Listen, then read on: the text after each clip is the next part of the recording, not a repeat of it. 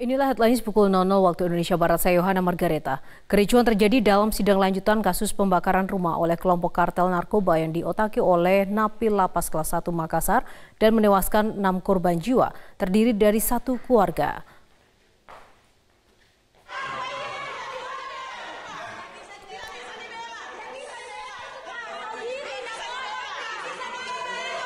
Sidang lanjutan yang mengagendakan mendengarkan keterangan tiga saksi jaksa dari jaksa menjadi ricuh beberapa saat sebelum sidang ditutup oleh Majelis Hakim Pengadilan Negeri Kota Makassar, Sulawesi Selatan.